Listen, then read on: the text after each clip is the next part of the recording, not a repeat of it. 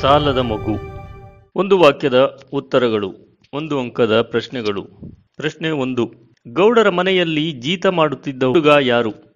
ಉತ್ತರ, ಗೌಡರ ಮನೆಯಲ್ಲಿ ಜೀತ ಮಾಡುತ್ತಿದ್ದ ಹುಡುಗ ಸುಬ್ಬು. ಪ್ರಶ್ನೆ ಎರಡು, ಸುಬ್ಬನ ತಂದೆ ಯಾರು? ಉತ್ತರ, ಸುಬ್ಬನ ತಂದೆ ರಂಗ. ಪ್ರಶ್ನೆ ಮೂರು, ಸುಬ್ಬನಿಗೆ ಎಷ್ಟು ವರ್ಷ ವಯಸ್ಸಾಗಿತ್ತು? ಉತ್ತರ, ಸುಬ್ಬನಿಗೆ ಎಂಟು ಹತ್ತು ವರ್ಷ ವಯಸ್ಸಾಗಿತ್ತು. ಪ್ರಶ್ನೆ ನಾಲ್ಕು ರಂಗ ಹೇಗೆ ತೀರಿಕೊಂಡನು? ಉತ್ತರ, ರಂಗ ರೇಷ್ಮೆ ಕಾಯಿಲೆ ಬಂದು ತೀರಿಕೊಂಡನು. ಪ್ರಶ್ನೆ ಐದು, ಗೌಡರಿಗೆ ಎಷ್ಟು ವಯಸ್ಸಾಗಿತ್ತು? ಉತ್ತರ, ಗೌಡರಿಗೆ ಅರವತ್ತು ವರ್ಷಕ್ಕೂ ಹೆಚ್ಚಾಗಿತ್ತು.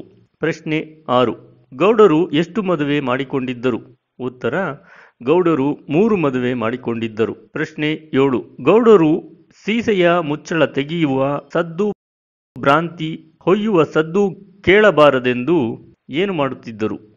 ಉತ್ತರ, ಹರಿನಾರಾಯಣ ಹರಿನಾರಾಯಣ ಹರಿನಾರಾಯಣ ಎನು ಮನವೇ ಎಂದು ಗಟ್ಟಿಯಾಗಿ ರಾಗದಿಂದ ಹೇಳುತ್ತಿದ್ದರು. ಪ್ರಶ್ನೆ ಎಂಟು, ರಂಗ ಗೌಡರಿಂದ ಎಷ್ಟು ರೂಪಾಯಿ ಸಾಲ ಪಡೆದಿದ್ದನು? ಉತ್ತರ, ರಂಗ ಗೌಡರಿಂದ ಮುನ್ನೂರು ರೂಪಾಯಿ ಸಾಲ ಮಾಡಿದ್ದನು. ಪ್ರಶ್ನೆ ಒಂಬತ್ತು, ಸುಬ್ಬು ಹೇಗೆ ಸತ್ತನು? ಉತ್ತರ ಅರ್ಧರಾತ್ರಿ ಸುರಿಯುವ ಮಳೆ, ಮಿಂಚು, ಸಿಡಿಲು, ಗುಡುಗು, ಇದ್ದಾಗಲೂ ಕೂಣಿಯಲ್ಲಿ ತುಂಬಿದ ಮೀನುಗಳನ್ನು ತೆಗೆದುಕೊಂಡು ಬರಲು ಹೋದಾಗ ಕೃಷ್ಣ ಸರ್ಪವೊಂದು ಸುಬ್ಬುವನ್ನು ಕಚ್ಚಿ ಓಡಿ ಹೋಯಿತು. ಸುಬ್ಬನಿಗೆ ವಿಷ ಏರಲು ಸತ್ತು ಕೆಸರಲ್ಲಿ ಬಿದ್ದನು. ಪ್ರಶ್ನೆ ಹತ್ತು. ಪನ್ನೆ ಅಂದರೇನು? ಉತ್ತರ, ಪನ್ನೆ ಎಂದರೆ ಸೀಮೆ ಎಣ್ಣೆಯನ್ನು ಸೀಸೆಗೆ ಸುರಿಯಲು ಉಪಯೋಗಿಸುವ ಒಂದು ಬಿದಿರಿನ ಕುಕ್ಕೆ. ಪನ್ನೆಯನ್ನು ಕೂಣಿಯ ಮೇಲೆ ಇಟ್ಟಿರುತ್ತಾರೆ. ಒಳಹೋದ ಮೀನು ಮತ್ತೆ ಹೊರಗೆ ಬಾರದಂತೆ ಪನ್ನೆ ತಡೆಯುತ್ತದೆ.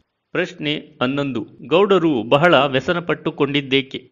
ಉತ್ತರ, ಅಂತೂ ಮುನ್ನೂರು ರೂಪಾಯಿ ಮನೆಗೆ ಬಂತು ಎಂದು ಗೌಡರು ಬಹಳ ವ್ಯಸನಪಟ್ಟರು.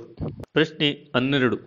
ಮಲೆನಾಡಿನಲ್ಲಿ ಮಳೆಗಾಲದಲ್ಲಿ ಮೀನು ಹತ್ತುವ ಸಮಯದಲ್ಲಿ ರೈತರು ಮೀನು ಹೇಗೆ ಹಿಡಿಯುತ್ತಾರೆ? ಉತ್ತರ, ಮಲೆನಾಡಿನಲ್ಲಿ ಮಳೆಗಾಲದಲ್ಲಿ ಮೀನು ಹತ್ತುವ ಸಮಯದಲ್ಲಿ ರೈತರು ಕೂನಿ ಹಾಕಿ ಮೀನು ಹಿಡಿಯುತ್ತಾರೆ. ದಿನಕ್ಕೆ ಏಳೆಂಟು ಬುಟ್ಟಿಗಿಂತಲೂ ಹೆಚ್ಚಾಗಿ ಮೀನು ಸಿಕ್ಕುತ್ತದೆ.